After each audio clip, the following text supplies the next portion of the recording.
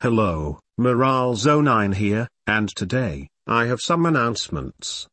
First, once I'm done with the entirety of Phase 1 of the Morale09 cinematic universe, complete versions of all Phase 1 movies will release in early 2024, the same thing goes to later phases.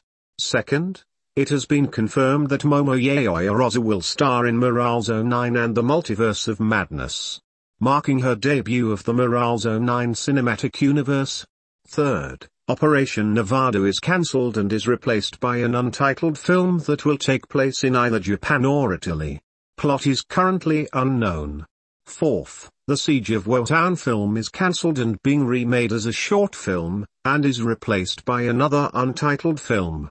And lastly, a possible comic series based on the Morale 9 cinematic universe will be released on late 2023 or early 2024, possibly an adaptation of Morale 9 the series or a new story that takes place between Stripe, a Morale 9 story and Morale 9 the movie 3. Thanks for watching, Morale 9, signing out.